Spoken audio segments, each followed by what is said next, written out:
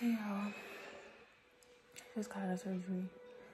I don't even know what time, but I went in at 6.40, like actually into surgery at 6.45, maybe 7 o'clock, and I woke up at 6.45 in the evening, um, central. So, as some of you might know, I had a tummy tuck, breast augmentation, breast, a small breast implant my boobs are already big. And he just made them look way more perky as you can see. I don't want to get flagged by YouTube, but um when I woke up I didn't feel that much pain. It was a lot of discomfort, but not as much pain if that makes sense. Um, because you still have the anesthesia and stuff inside of you. But the one thing I did want to know was my tummy tuck drain was bothering the heck me. Like, eight out of a 10, the annoyance was at a 9. It was really annoying. Um, but the nurse checked and my pain pump wasn't on. So she put my pain pump on and that definitely literally took the pain away. Um, I also have other pain medication that I'm going to be taking. so I think once I, you know, just stay on top of my pain meds, I'll be okay. And um, yeah, that's really surgery was it was a surreal experience to be honest because I was full of anxiety, but I was praying heavily. I was listening to a lot of gospel music and I was like listening to my scriptures and I just felt even though I had anxiety, I just felt a, a, a sort of peace from God because I'm a believer in God. So I really felt a peace from him that everything was going to be fine. He's in control. I'm not in control. He controls the doctors the nurses, everyone. So I felt some sort of solace, and well, not some, a lot of solace in that. I get out of breath very easily. I had a fat transfer to my butt, tummy tuck, breast, lift with augmentation. So I'm trying to keep the camera straight. It's just, I'm so exhausted. My body's like not with it. Um, I'm sorry I'm whispering. I just can't talk loud because I, just, I literally can't talk loud. Literally can't. So my nurse, I think his name is Alejandro, fine as heck. Child, when I told you I was about to be like, can I, take, can I go home with you after this? He was so fine, so fine. Brown skin, close to dark skin, just a fine chocolate man. Anyhow, um, he did my IV. The IV does hurt at first. Once you actually get in the washroom, like after maybe like 10 minutes, it doesn't hurt really because you kind of get used to the feeling. But when he first puts it in, it definitely is annoying and hurts. So I would say at least a four or five out of a 10. But, um, he washed me. I got naked, and he literally washed me with the medical wash. Um, it wasn't that bad, honestly. Like I know I saw some girls wash. It was like, oh, they wash you in there, like in this ghetto. It really wasn't bad. Like they put you. It's a container, but it's plastic over the container. So you're not actually stepping onto a concrete container or a steel container. Um, they wash you they wash you with um, a medical wash, and then um, he pours warm solution over you to cleanse you. They don't really dry you off except for your socks. So I sat down. They put the socks, the compression socks on me. I felt fine. Then, then I think that's when he put the solution, the sedation in because I started feeling tired. I'm like, what the heck is going on? But Dr. Velasco, as well as other dolls who have went to him, told me that they say tequila when they start putting it in. So he had asked me when he marked me up. He was like, "Do you want um, you like tequila?" I said, "No, I like cognac." so he said, "Okay, I'm gonna tell them to say cognac."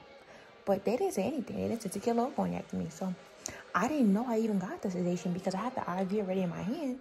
So I'm over here like, why am I drowsy? But obviously I put two and two together. So eventually I lay down and I was out.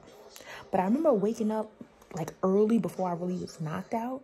And I remember seeing them laughing, joking, talking, and I was like, hey. I don't know what I'm saying. But I was like trying to talk to them, like, what's going on, y'all? What you doing with me? Sorry, I can't laugh. But um, then I finally knocked out. Like I was out like a light. I woke up during surgery. It's really not bad. Like it really feels like a dream, and you don't feel anything. I woke up during surgery. I felt them. He must have been lipoing me, Dr. Velasco, because I felt it going back and forth. And I was like, oh my gosh, oh my gosh. But like it's really not bad because it's just like a dream. Like you fall right back to sleep. I don't even know when it happened in, during the procedure. I just know I felt him lipoing me. Um, and they have a sheet over your head up and up anyway, so you can't see like anything gross or weird. You know what I mean? That'll scare you. Um, so that was a good thing. I finally woke up. It was 6:45 p.m. when I came in around that time for surgery in the AM pain, like I said, it was a lot of discomfort, but the and I and I kind of got that cold feeling, like everyone says, but not really. Like it was like shivers, but it wasn't anything that I was like, oh my gosh. Because the nurses were really good at Picasa. They put a heater on me. They put two heaters on me actually, and they put a blanket on me. And remember, you're naked. You only have a diaper on, so I only had a diaper on, and I had my well, I had um stitches on my boobs. I didn't have the faja bra on yet. So then I'm like, okay. Sorry, y'all. I'm out of breath again. So I woke up and I was like, the first thing anyone's inkling is to do is call their loved ones. So I called my mom.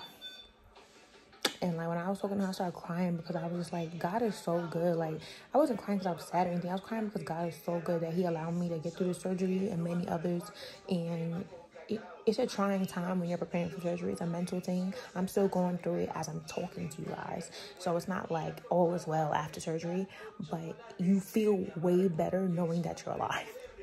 Okay, so and that goes along with picking a safe doctor. And I trusted my doctor. I trust God, obviously, so God was number one. But I trusted my doctor next, so that just put some sort of solace in my healing process and just my emotions.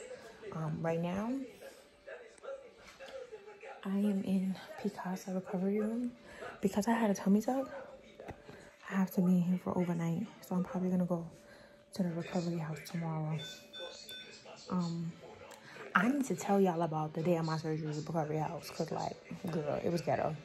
I thought I was gonna miss my surgery. I really did. Like, I'm gonna tell y'all. I just can't talk a lot right now, but probably tomorrow or another day, I'll tell you guys what happened, cause it was ghetto child a lack of instructions so i'm out for you guys and let me know if you want to hear the story child because that's definitely story time um yeah i'm probably gonna go guys because talking a lot is getting my chest tight and i don't like it. So i'll see i'm on the flat side by the grace of god y'all and um continue to pray for me even if i look well with somewhere else because as you know surgery is an everyday thing. Even after you get it it's a it's a mental physical thing. So you gotta just stay prayed up for real. Here is my father child he snatched me i'm not gonna lie i can't see the whole thing because i'm just so bruised up but he snatched me he did this is a pad it's my boob i told you guys you got my boob already but I'll show you, I'll get you guys a better video tomorrow probably. Because I literally cannot get up by myself. So, because of the tummy tuck. That's like the worst part right now.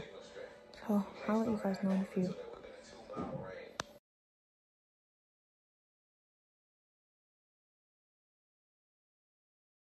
nurse that saved my life. You're gonna be on my YouTube, Paula. I love her. Te amo mucho. Mi favita nurse. Muy bueno. You come to Picasa, make sure you ask for Paula.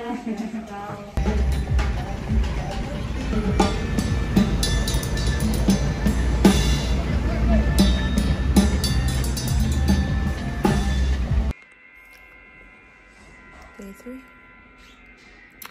It's Wednesday. I got surgery on Monday. I feel very weak. Um, I was dizzy this morning, but I didn't faint. I just kept my eyes open and they gave me alcohol to smell. Two things keeping me good right now is God and my daughter. I'm really this is this is probably the hardest thing in my life I've had to do. Um, but my body looks so good. I, you guys can't see it, but I'll definitely try to show you guys. Before today is over, I'm going to my massage now. And I just keep thinking about life. All you have to do here is think. but I'm thinking good things because I'm so glad that God is watching over me. That's like the main thing I'm thinking about. And I remember I used to watch vlogs of girls on Covery like, why they can't keep the camera still? And girl, I know now. I know. It's a lot of work. Even holding my phone up right now is feels like I'm doing push-ups. No joke. My breasts don't really hurt. It's more of a pressure on my titties. My boot, my booty doesn't hurt, but the tummy tuck, not the cut. The cut doesn't hurt. I don't feel it. I don't feel it. The drain and just like the tightness. I need to be in my faja, but I'm not in my faja right now because I'm going to a massage. Um, but I like being in my faja because it's tight. And I feel like my body swells up when I'm not in my faja. And I'm waiting for one of the nurses that want me downstairs because I couldn't do it earlier. I had to eat and like drink pineapple juice. And um, yeah, I had to eat and drink because if I didn't, I was getting dizzy. So I sat down for a little while. But y'all, the body snatched. And I can't even like enjoy it just because of everything I'm going through. But I'll be back, guys. I'll try to record my massage, but the way this tummy tuck is set up, je ne sais. But I'll try, guys. Bye. Not because of the massage. I cried because I felt like the recovery house just like dropped me off at um, Dr. Velasco's office like I was a package. And it made me, it just, everything bubbled up and I cried. And I called my mom and I'm gonna talk to them about that. Cause I do love the nurses and like they do treat me good, but there's certain things that the overall owner should make sure that's done that I feel like is not being done. Um, and it's been a, an interesting day. I feel much better today. Maria did my massage. She's very good. She's very gentle. Feels so good. Like, I can't do the whole on my knees thing. I have a whole tummy tuck and my boobs on. So, to give you guys a hint of what the massage room looks like, or one of the massage rooms. It's really clean, nice. So Dr. Velasco's office. I'm also gonna get my pan pump removed because it's empty. So there's a lot going on. I think I'm about to get my period too, so that might be why I'm extra emotional. But like I told you guys before, and I'm sure you heard, it's a mental process. I've been praying to God like crazy because I'm just over it. But like I'm never gonna give up. God is so good. So taking it day by day, y'all. I'll log back in in a few. So, my body is just all pads. My boobs feel fine. It's really my stomach and my back that are killing me. My boobs feel good actually. I mean, it still feel a little heavy, but it's nothing compared to what it felt before. So I'm happy grateful for that. Here is my belly button.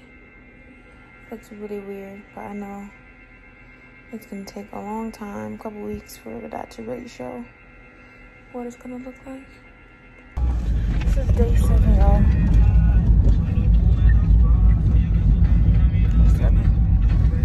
Today, yesterday was not a good day. Today is not really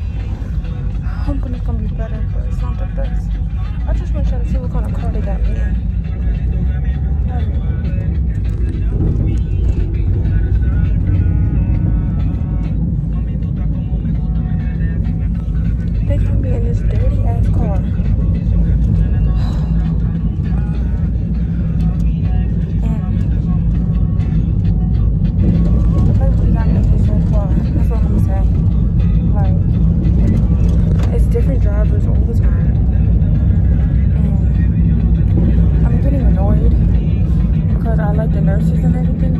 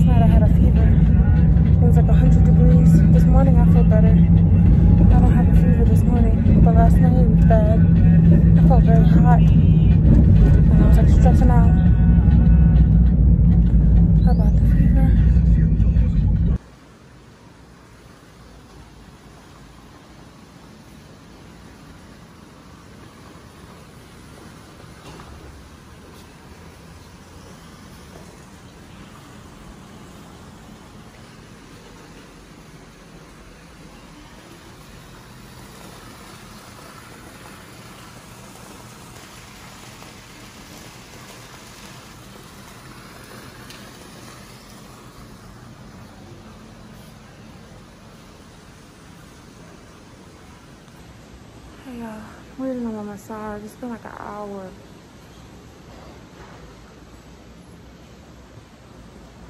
so hot. And my nurse over here was sleeping. That's what I be talking about together. Okay. Hmm. I don't need nobody. Oh, my face child. Hey guys, day seven still. I wanted to give you an update to tell you what Dr. Velasco said. I'm not sure if I recorded this already, but um, last night I had a 100 degree fever and Dr. Velasco told me I had an appointment with him this morning. He told me to start taking antibiotics last night via WhatsApp. He was very responsive. I love him so much. So today in our meeting, he basically was like, um, I shouldn't say meeting, it was a follow-up he basically was like, um, my body's healing great. He doesn't see any infections, but we're gonna continue the medicine as a, a precautionary measure. I don't know if you guys can see, but my right boob is mad swollen. Like, it looks, I just noticed it, was crazy. But, um, even from that, I was able to get prescribed iron pills. So now, um, so I've been taking, not iron pills, it's like a, a powder that you put in water. So I'm taking this iron medication and it's helping because I had the fever before and I had the headaches. So I'm not trying to walk around and just be active and I lay in bed. I'm sorry, y'all. This swelling is crazy. Can you guys see that? It's like boob is chilling and the other boob is like massive inflammation. Journey Recovery House, okay, y'all? And I got a lot done, right? I got a BBL, tummy tuck, breast lift with implants.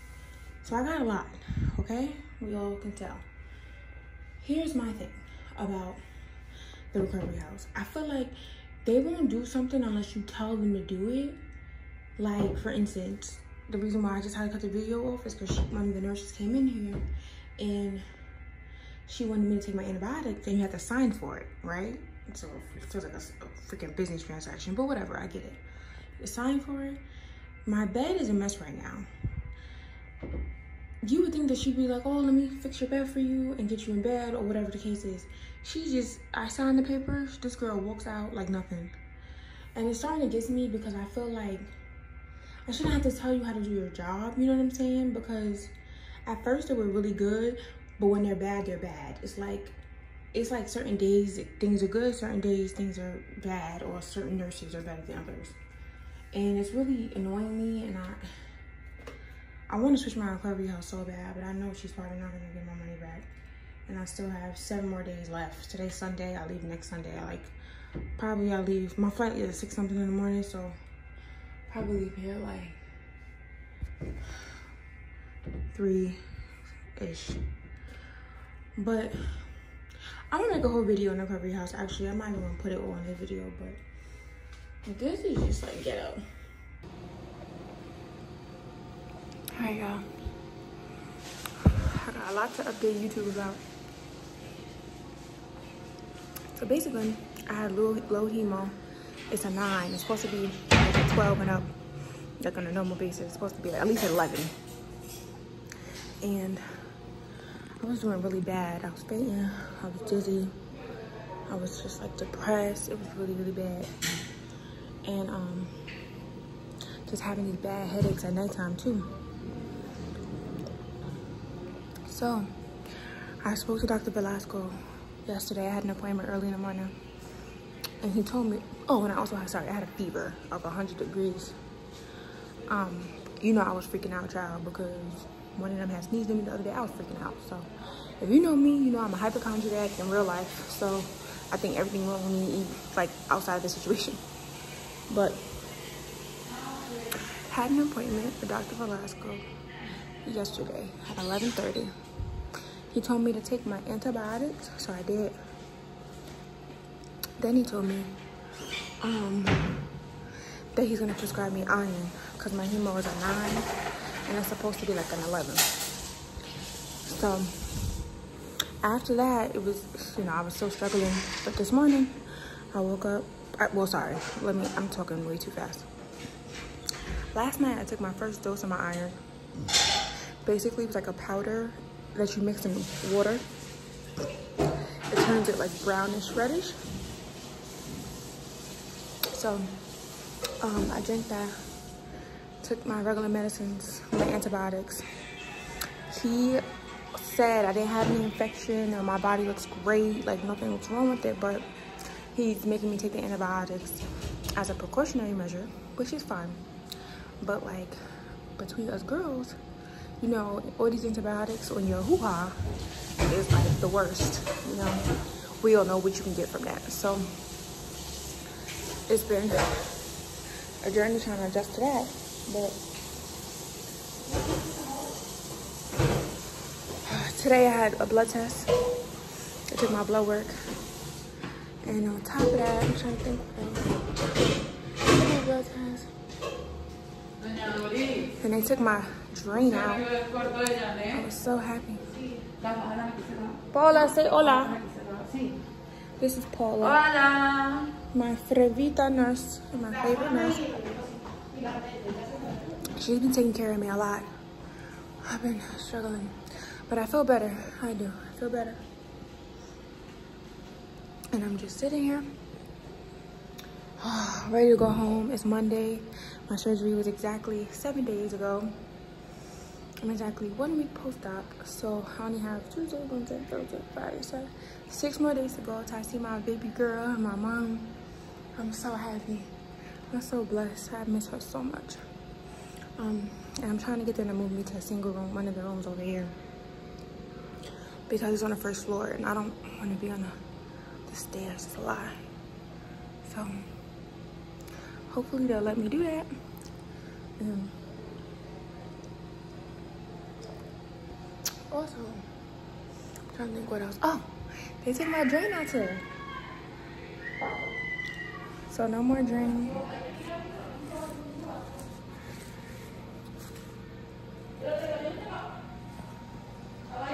More drain. I'm so happy. And Velasco told me to stop sitting on my butt and my hips. I have to rotate. So he said every hour rotate. And I'm gonna be honest with y'all, when I'm knocked out, I'm knocked out. There's no rotating. So I'm trying not to sit on my butt for too long. Like right now, I'm standing.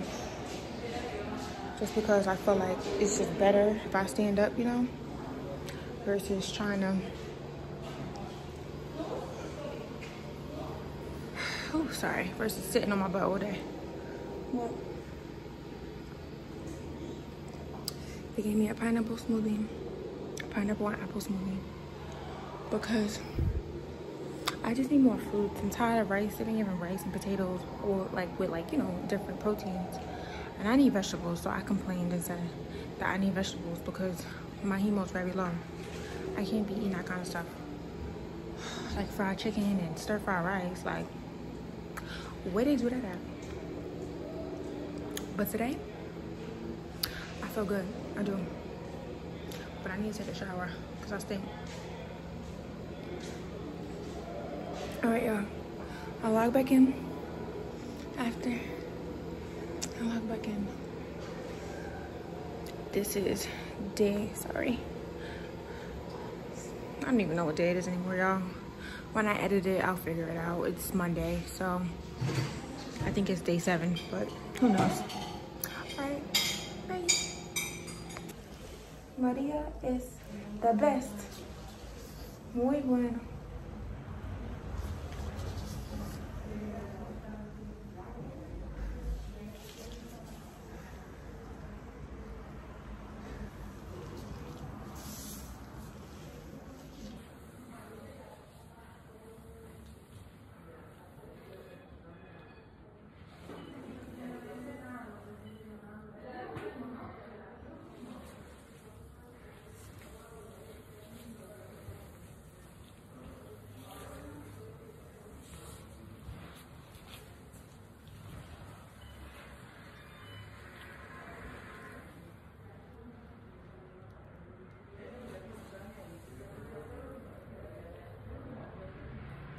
Hey guys, it's day, I don't even know, hold on. I think it's like day 12. I'm, hey guys, it's day 11. I had to like stop the camera and look at that up because the days are like meshing together but at this point. But I'm on the porch right now. It's like a little hot, but I'm taking out my passion twist because I'm so tired of this hairstyle, y'all. Like I'm so tired of it. Like I just want my regular hair right now. But um sorry, I just had to show y'all the ghetto. So I went to go get a faja today at Skin Look, right? And they was bomb. They fajas was bomb. I recommend them 100%. And they have to modify mine, so they're not gonna be ready until tomorrow, and I'm sick about it. But I was able to get her to do tomorrow instead of Monday because I'm leaving on Sunday. So that was a blessing. But this is the faja, not this, this came from Skin Look. But this right here is a faja that I got from Dr. Velasco's office. And when I tell you, it's not his fajas, but I guess the company he partners with, trash. Like you need to get your own fajas before you go to his office because these are not good at all.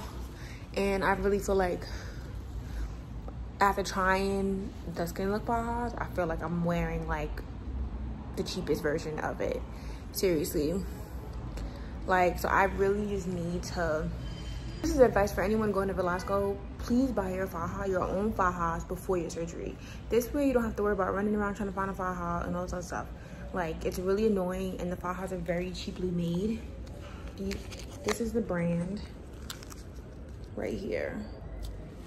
They're trash just so you know this is the one i got from skin look. It's amazing. It's the bra oh my god it feels so good.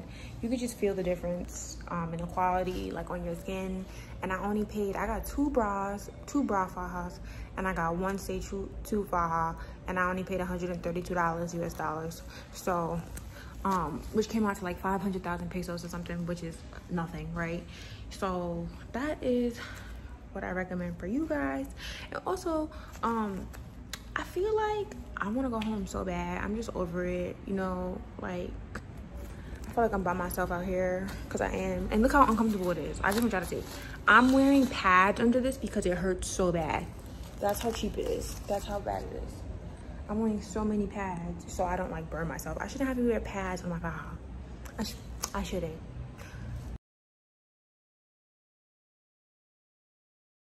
But anywho, whatever. Um, and I'm just really excited to go home and see my daughter and see my mom. Like, I'm so hyped.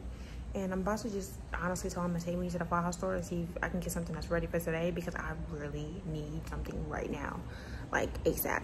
So um, I'm gonna try to vlog that as well, guys. But I wanted to do a check-in. Oh, by the way, my tummy tuck, my tummy tuck is good. I can sit up myself now. I can do a lot of stuff. I can take a shower myself now. I just can't like really, you know, get to the crevices and stuff like that. But um, my boobs are doing really well. Um, I'm getting my stitches taken out tomorrow, so I'm gonna try to record that. I just don't know because I'm very eerie about blood and stuff. So I'll see how I feel. Um, and then on top of that, I'm trying to think what else.